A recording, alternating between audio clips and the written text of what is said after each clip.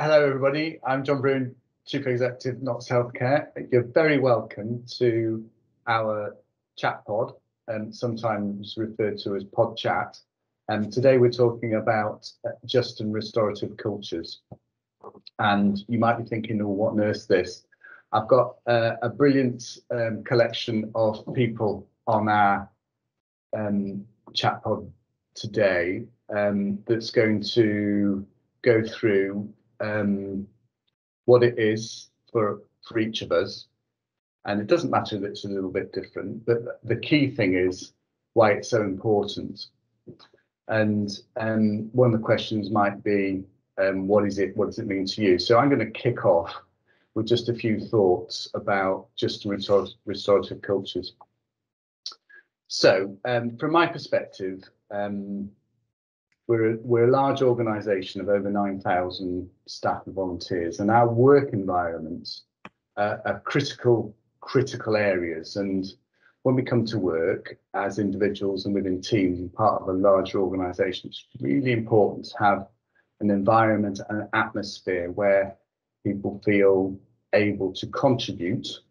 So um, it's an inclusive environment, but and by that are able to contribute to how work works, how things can improve, identifying when things aren't going so well, and more importantly, learn to do things better and improve so that at the end of the day, the reason we're all here is to um, ensure that patients, service users, carers get a good deal and have good experiences and um, can flourish. And we need to create environments where staff can do the same. And sometimes in organisations, because we're essentially a human organisation, um, environments and cultures can get a bit um, bogged down, a bit irritable for all sorts of reasons, never really due to one thing. And my view was that uh, Healthcare, for multiple reasons over um, a few years, it got itself into a particular place where people were quick to respond, grievances were high, there were lots of um, difficult conversations, and um, we got ourselves mired in, in what I think were quite poor work cultures. And this program is part of um, restoring environments where people are able to speak up, contribute, feel that they're making a difference. Um, and these are all really important values and behaviours that have been identified by all our staff across the organisation when we did a, a diagnostic on it a year or two back. So I'm really excited about having a, a great conversation this afternoon. Um, and we're going to go around in turn and introduce a couple of topics. And first of all, I'm going to hand over to Jen Guiver. Jen, over to you. Thank you very much, John. Um, so I'm Jen Guiver. I'm Deputy Director of People and Culture. I'm relatively new to the organisation. I started with the Trust in January, um, so just over six months. I'm still playing the new card. Um, in terms of what just a restorative culture um, means to me, um, I want to focus really around um, enabling our leaders um, to make this organisation a really great place to work because as John said, the organisation is not about four walls, definitely not in this case. It's about the people um, who provide excellent care to our patients and in the case of my team do a lot of things behind the scenes to make that happen. Um, so for me, it's about um, our people and culture team providing a leadership environment and tools and training policies um, where leaders can um, make person-centered decisions, I guess. Um, so when you're looking at your sickness policy, you're actually looking at Jen who's been off sick with whatever condition and not just blindly following a process. It's about looking at the person in front of you and making decisions related to that person. Um, but secondly, um, doing things the right way rather than doing things right. Um, so having um, people practices across the organisation where um, we do the right thing um, again rather than following processes to the letter that might not take into account people's individual circumstances. I think I'm passing on to Fiona next. Hello everyone, I'm Fiona Illingsworth and I'm the Associate Director of Quality in the Trust. Um, one of my main areas of responsibility really falls around patient safety, and many of you will know that often means we we conduct many, many investigations following serious incidents. And my take on all of this is most people don't come to work to actually deliberately cause harm to anybody. But sometimes things happen, there's circumstances, there's lots of reasons and factors why people either make decisions they make or act in the way that they do.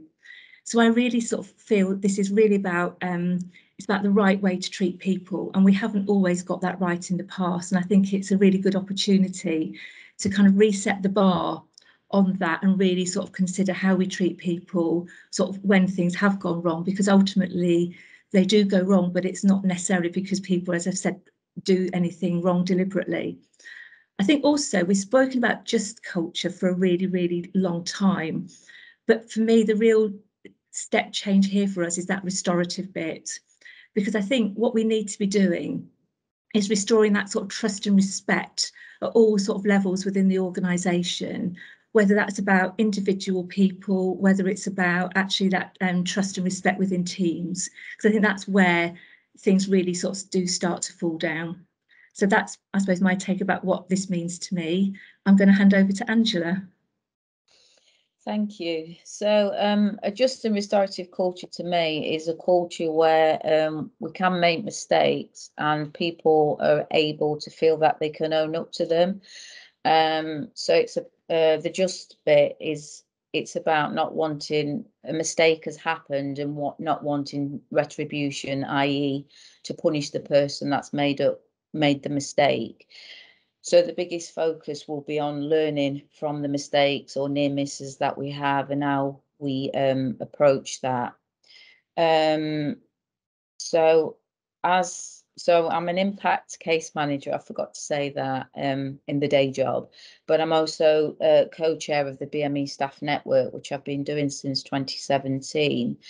And so for me, a big thing about a just and restorative culture is having cultural intelligence, um, like what Jen said about being person centered. But I think as an organisation, we still got to say what we feel is acceptable and what is not acceptable. And I think the problem in the past has been those grey, grey areas in between where they've not gone to, you know, formal disciplinary and those informal so that everybody gets um, consistent outcomes. So um, really interested in from a network point of view about engagement um, from the organisation and um, psychological safety. And I agree with Fiona about the what happens when if somebody does go through formal, um, that um, there's no case to answer about how you reintegrate that practitioner. So a big focus on just a restorative culture is who was hurt. And that can be, if it's a patient safety incident, it can be the patient, but it's also the team around that. And if that person then resumes going back to work, how we deal with the fallout of that process. Because I think in the past, people have gone through formal procedures, no action has been taken, but then you're left with lots of people who have been hurt by the processes. And hopefully that will filter through to some of our processes and policies, which Jen talked about. And I think that's uh, over to Alex now. Thanks ever so much. I'm, I'm Alex Lyon, I'm Culture and Engagement Manager, and I just couldn't agree more with everything that everybody said. Um, we've been looking at just a restorative culture for a while across the organisation, and um, we've come up with a, a definition which um, um a few people have, have um, talked about, which is really, which is stated that within our organisation, a just and restorative culture means acting with compassion, treating people fairly and justly, and embracing a learning culture where if something goes wrong, we seek first to understand. It is an ethos by which we are all accountable for our actions. We act in line with and recruit to our trust values, and we assume positive intent during our interactions. And um, you know, I'm not eloquent enough to be able to say off the cuff so anything better than that, but I, I'm absolutely passionate about the elements with regards to psychological safety within teams.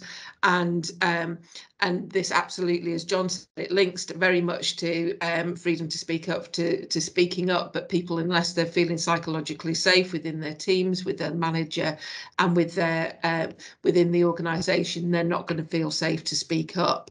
Um, and um, and very much really linking about um, thinking about and, and linking to um, you know really re responding to errors as has been said but uh, also about staff support and the support that's there not only when something goes wrong but throughout somebody's employment um, within the organisation from day one how we're supporting them and seeing them as an individual um, and um, uh, thinking about civility and respect as well. So really just being kind and, you know, and, and treating people as you would want to be treated yourself and just be, you know, um, and we've, we do, there's a lot of work and there's a lot of evidence about what happens when um, there's incivility in the, in the workplace and it's, it's, it's scary. So really wanting to make sure that that's a part of, of how we're treating each other.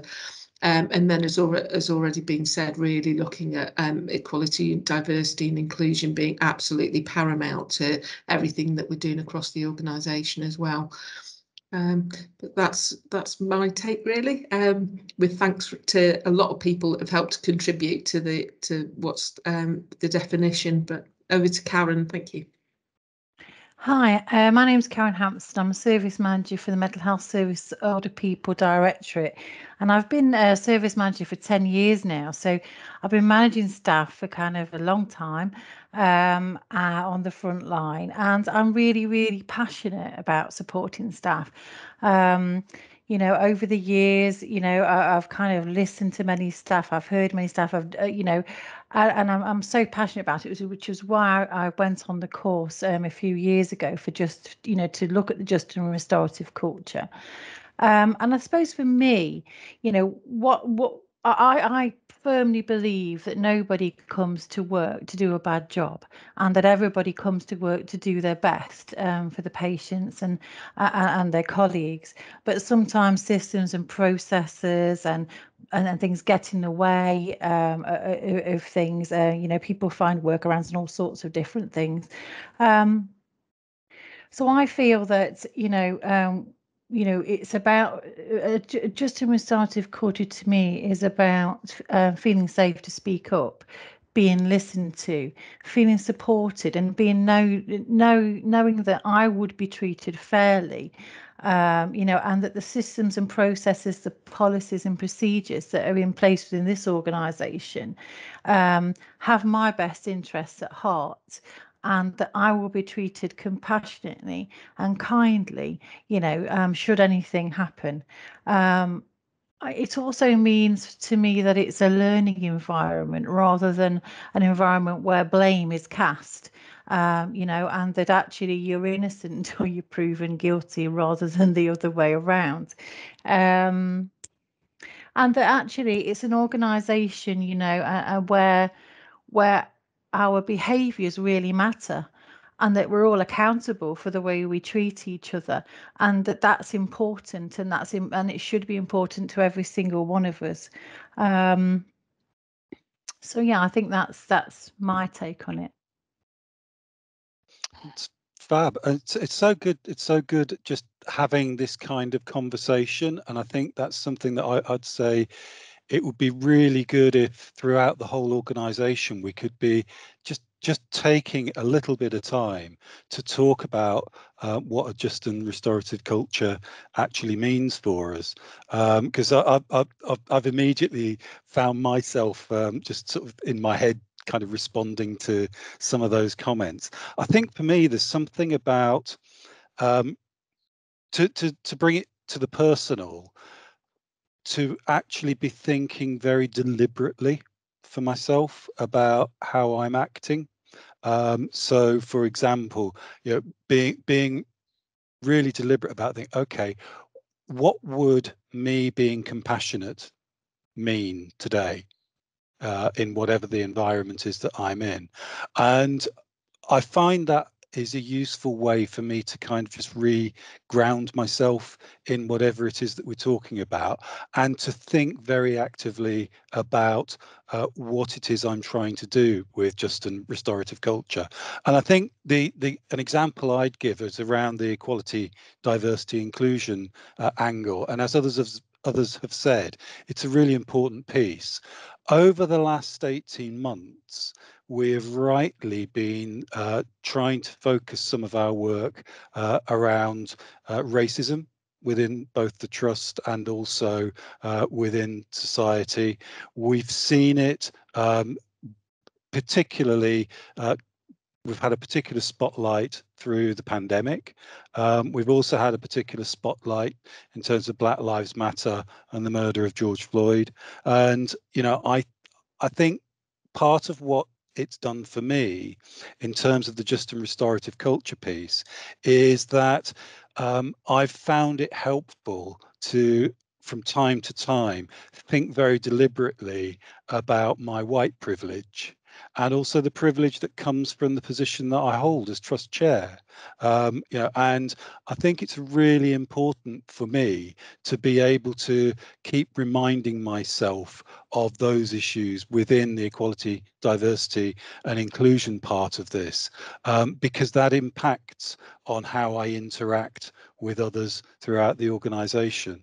Um, and I do think there's something that um, I'll, I'll, I'll, I will attribute it appropriately to, to Anne Maria, Anne Maria Newham, um, who has a phrase along the lines of when when something's happened that's not gone as we wanted it to actually asking a more strategic question about what did we do or not do as an organization or as leaders that enabled this situation to have occurred and i think from a board perspective that's a really helpful thing for us to be doing so if something has gone wrong um, that actually we take time in the midst of looking at all of that to say, what did we put in place that actually meant this happened?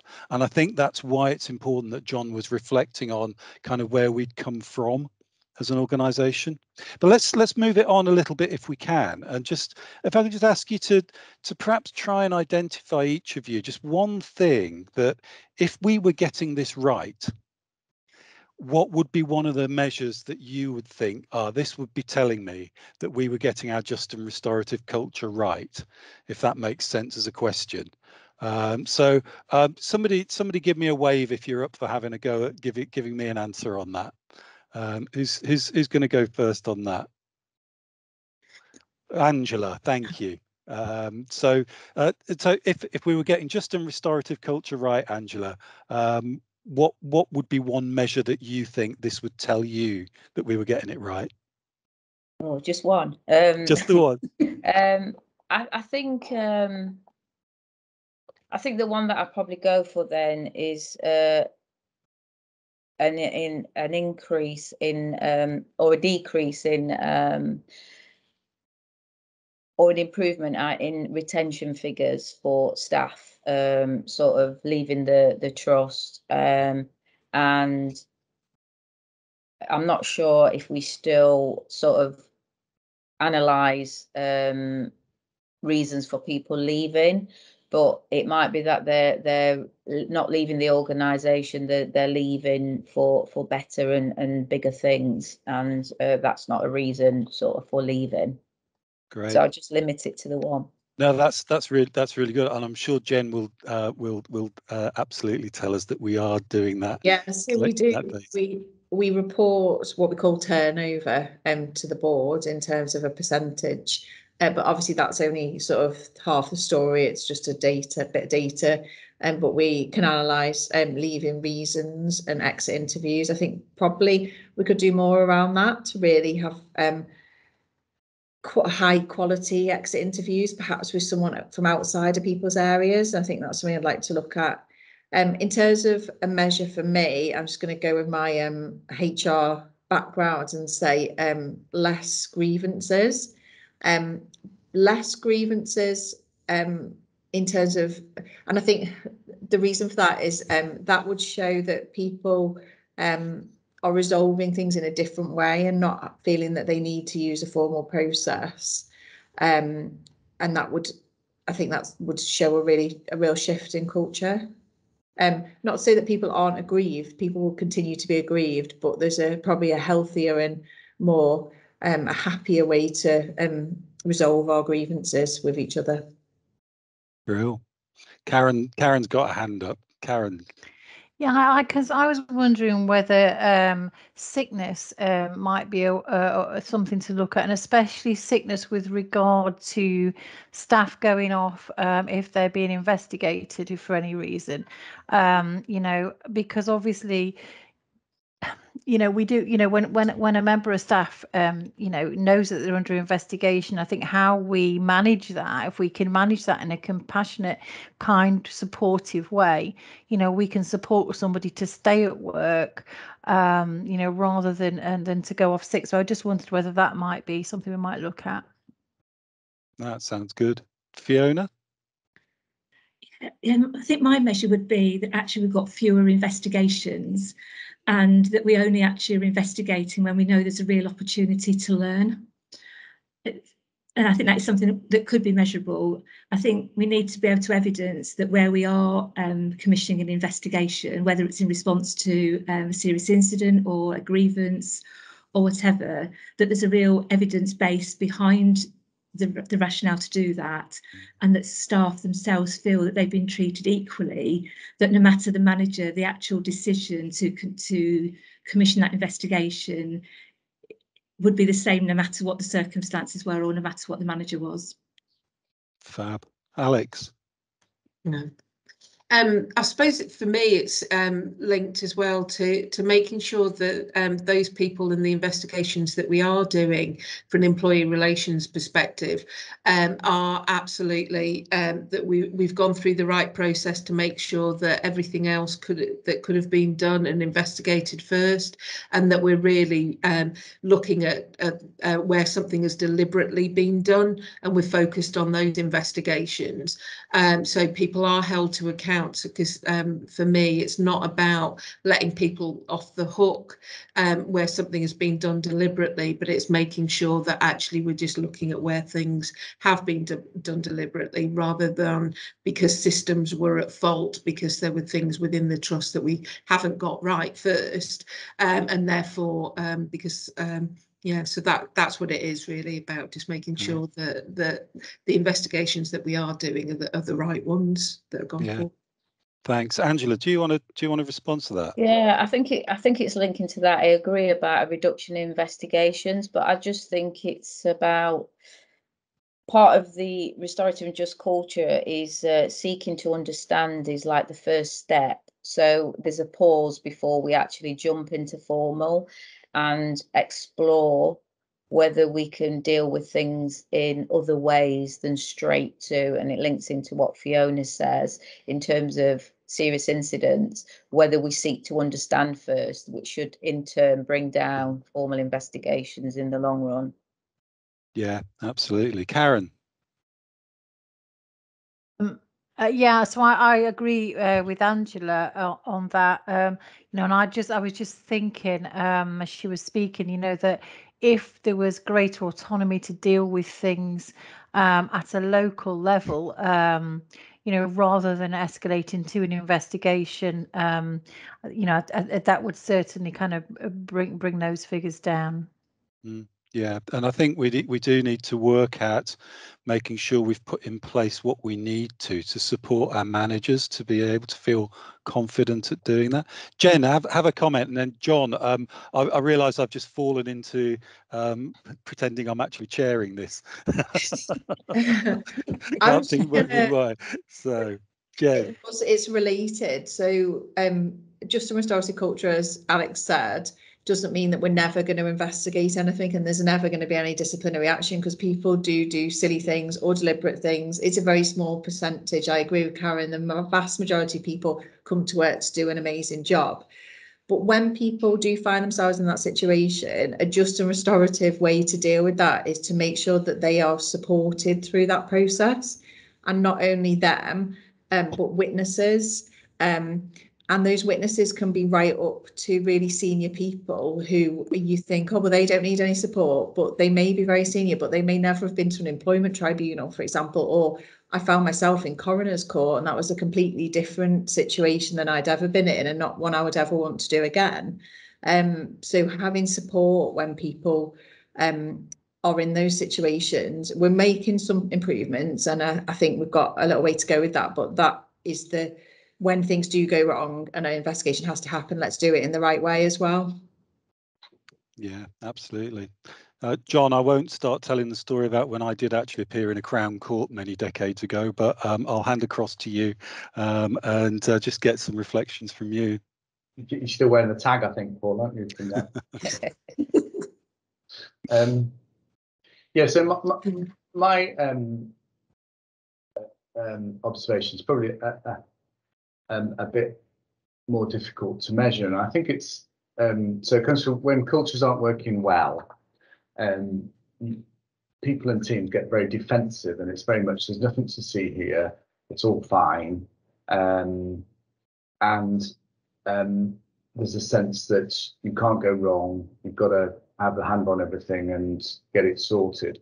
So as you start to restore your culture and improve, there's more an openness and an okayness about saying, I need a bit of help here, or it's okay to say, I'm not okay, or it's okay to say, help, I'm not quite sure what to do.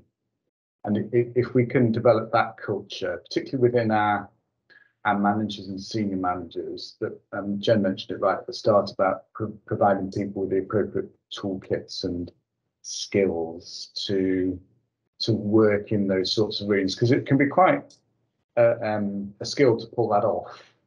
Um, you know, if, you're, you know, you're, you're line managing a group of people and group professionals, so actually I don't know how to do that. Um, leave it with me. I'll come back and we'll we'll resolve it together. Um, isn't necessarily a natural response in um, you know pressured teams, and it's those sorts of things. I'm not saying we should measure it, but there's a sense that if, in organisations and teams where that's that's working, you get the sorts of cultures that that we're in to get to. Um, so that's that's that's my take on that. Um, I'm going to hand back to you, Paul, because I think um, unless there's anything else you want to add, we're on to the next bit now. I was, uh, I, I was thinking perhaps just as a as a, as a sort of a final conversation piece, just to have some reflections about um, if if any of you have had thoughts about your own behaviours that you'd want to change, um, and that actually is a, is it is in your mind as actually this is something I want to do um, differently. Um, and I mean one one of the things that when I was looking through some of the materials around this. Um, I thought actually I, I uh, one one of the questions that I don't ask often enough is actually asking people what it's like to be on the receiving end of me. And I think that that's a really it's one um, uh, John. I know that it's a question that you you do ask um, about yourself, and I think I think it's a it's a really useful one. Um, and that's one that for me that I'm going to try and uh, ask ask a bit more frequently. Uh, but yeah, uh, who who who'll give a who'll give a, a, response to that about something that you know you're thinking actually this is a behaviour I'm I'm personally wanting to change. Jen, you you start off and then others chip in. Mm. You're on mute, Jen.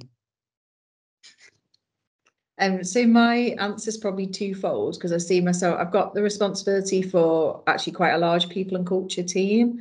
Um, but I also have a responsibility around creating the people environment of the organisation. Um, so I think for my team, um, I want to make sure that all the decisions we make are person centred um, and respond to individual needs. Um, so, you know, across our team, we'll have all sorts of things going on at any one time, organisational change, sickness issues, long-term ill health, but really making sure that the people who report into me are taking a person-centred approach. That'd be one thing. In terms of um, the organisation, um, I, have actually this afternoon spent some time being very challenging about our sickness policy. Um, and we're doing a rewrite at the moment, so making sure that that um, is written in a supportive way. It's not about punitive action. Get rid of terminology like warnings. Um, it's about supporting people to either have a better attendance record or find some sort of alternative reasonable adjustments or whatever that might be. So they're my two. Brill. Who's going to go next? Yeah, I'll go. So um, I think for me, it's um, the I, I just want to to I suppose um, showcase and role model. Um, you know, just being kind and um, and just you know just thinking about uh, as you said that what it's like to be on the receiving end of me, but actually just thinking about um, you know, my behaviours to to other people, making sure that that you know there's a big piece of work that's happening across the trust at the moment on closed cultures and making sure that we're open, that we're able to, um, you know, the the um, me and my team, you know, that that we're open and we're we're really absolutely passionate about making sure that this is replicated across the organisation, that everybody is, that just a restorative culture is the way that we are around the organisation, that we're living our values and you know that that actually we're trying to demonstrate the link between you know the um if we are showcasing this and if we live our values and we live the you know through a just and restorative lens then actually you know the the impact that that will have on patient care and um a, along with you know the the working lives of our staff is absolutely paramount so it you know it to me it to me it's so simple but it's also so complicated Yeah. So No, that's that's Yeah. great. Thanks, Alex. Karen, I think you're next. Yeah, so um, I want to kind of make sure that um, I am that I am compassionate. So in every single interaction, every single conversation that I have with any colleague or member of staff, um, with any of our people, I want to make sure that that's what I am. And um, you know, and again, it kind of touches, I suppose, on what you what we've all been saying about what is it like to be on the receiving end of me, and I and I do, and since doing that course, I, I do reflect on that every night on the way home. Um, to be fair, and and I also want to be, um, you know, an active part of of this kind of group in making sure that we embed compassion in into all of our policies, procedures, and processes, because uh, to me that's really really important. Well, I think Fiona and then Angela, and then we'll give John a last word, maybe. Fiona. Thank you. I think we've all got a really important part as leaders in the organisation, haven't we, to actually lead the way in this and um, lead by example. And, and I know personally, I just want to be a lot more um, reflective of my decision making and making sure that I am being really, really open and transparent with people. Um, but also, I've like Jen, I, I head up quite a large sort of function in the organisation, so we've got um, you know quite a lot of staff, and I think it's how how we, my whole team, sort of act um, with that civility. But so much of this for me is about supporting staff, and I think that's where my team have actually got a lot a lot to offer there, whether it's through um, the patient safety function when it's around investigations or attending inquests, whether it's our quality first team actually going in and doing those clinical reviews and working alongside, you know, our frontline clinicians and helping them to understand what good look what good looks like and supporting them and to actually also reflect on their practice and their behaviours when they're when they're doing that as well and sort of leading that through example. I've also got a really good opportunity that we're just currently reviewing our training for um, incident investigations. We've got a great opportunity to actually build in the whole just and restorative culture into that so we can remind people that, you know, all the way through that. And finally, I think it's always remembering that actually in all of this, again, about staff support and sometimes staff are, are second victims in some of these situations that go on. And sometimes I think we can forget that and forget the impact of staff and on teams when things haven't quite gone to plan and making sure we're there sort of behind them and supporting them. Thanks. Angela, do you want to give us your your reflection? Yeah, so so when I started uh, my just and restorative training, I, I was a social work manager at Rampton, and I would have said I was trying to uh, role model and bring that approach in in working with staff and and sort of um, highlighting that this approach is coming, particularly in terms of um, safeguarding, I would say, and investigations. I suppose in my current role as an impact case manager, it probably aligns with what Fiona says about thinking about adjustive just and restorative culture because I'm more involved in patient care, patient safety. We have oversight of quality, so all the stuff around closed cultures. And even though I don't line manage staff, I try to um, share the work that I do with the just and restorative culture with both my impact team and also in terms of um, the network. So for for the last couple of years, I have I have been sort of advocating and saying, you know, don't worry, just the just and restorative culture is on its way, um, and um, times are changing. So from a network point of view, I've probably tried to be more involved in uh, some of the groups that are looking at some of the sickness policies and advocating for the network to be uh, consulted on some of the um, policies like sickness and grievance and trying to get members of the network as well involved in some of the just and restorative work streams that were, were going ahead. And Alex has come and done a presentation to the network around values, incivility. Um, so that was quite useful because I think different people are at different levels with it, depending on how involved you've been in in the work. So I was on my training with Karen and Fiona, I think. Great, thanks, Angela. J John, do you want to wrap things up? Yeah. So a couple of so a couple of things from me. Um, the the first is um,